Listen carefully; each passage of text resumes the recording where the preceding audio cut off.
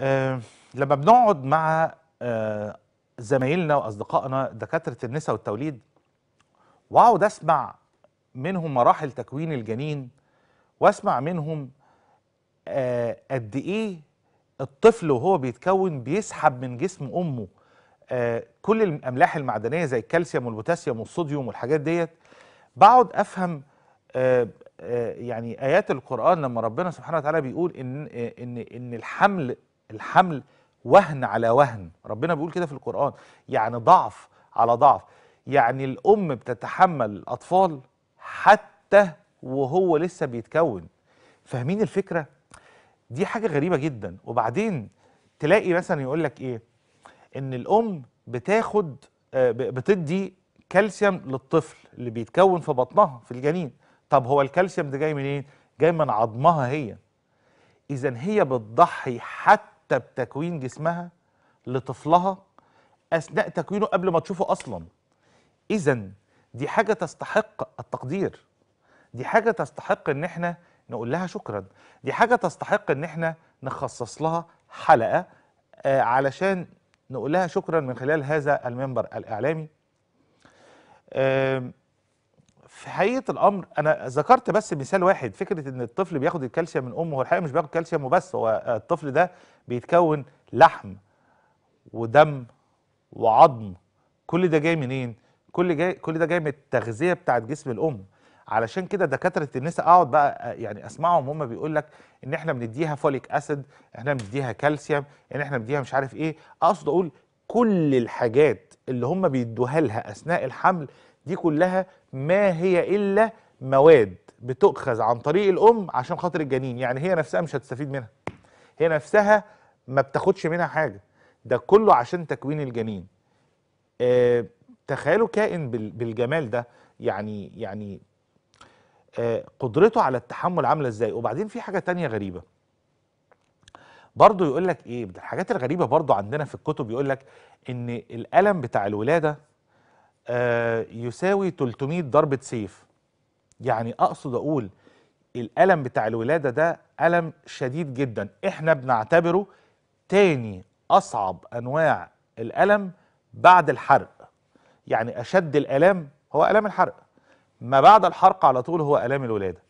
وتشوف بقى الفطرة الغريبة. يعني أقصد أقول إن الأم دي بتتعب جامد جدا وبتبقى يعني يعني بتموت أثناء الولادة.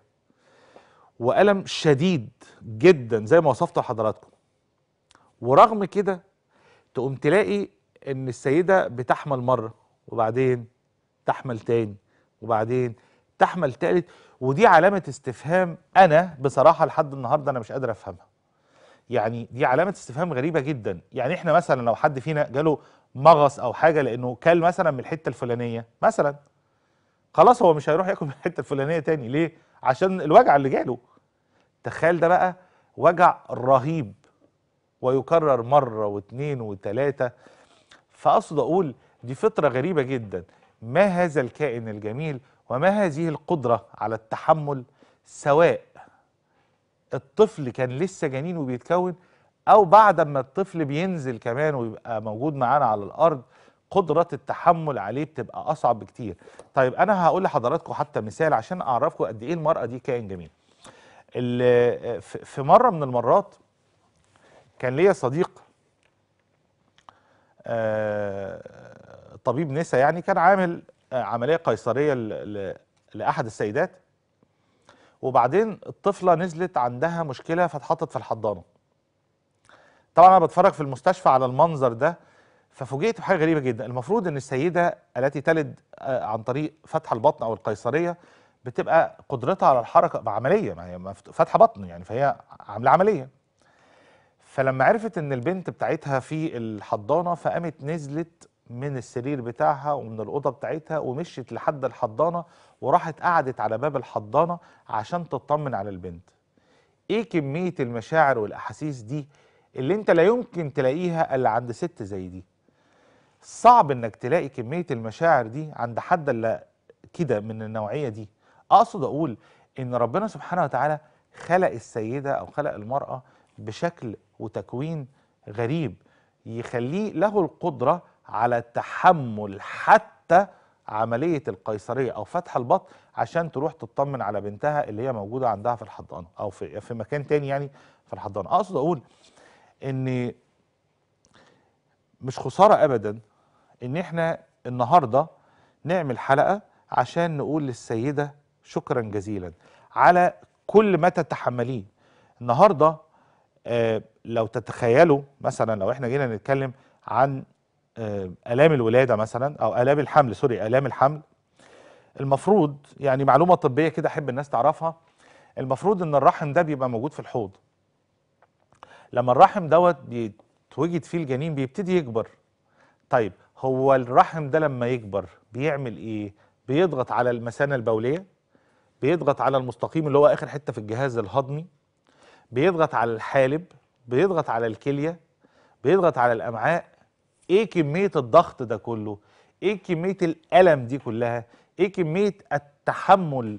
إيه كمية الحنان والمشاعر اللي بتبقى عند الأنثى في هذه المرحلة كي تتحمل كل هذه الآلام؟ ضيف على كده إنك بتتكلم عن تعب وألم أثناء الحمل. طيب وأثناء الولادة. طب وما بعد الولادة؟ ما بعد الولادة دي قصة تانية بقى خالص. يعني الطفل اللي بيكبر دوت محتاج شخص من نوع خاص عشان يعرف يعلمه ويفهمه ويربيه ويديله كل الحاجات اللي هو محتاج يبقى عنده مقوماتها عشان يبقى بني آدم. عشان كده أنا قلت لكم في أول الحلقة إن لو السيدة صلحت صلحت الأسرة كلها. اذا إحنا عندنا فكرة ال- ال- المقولة الشهيرة اللي بتقول إن المرأة نصف المجتمع.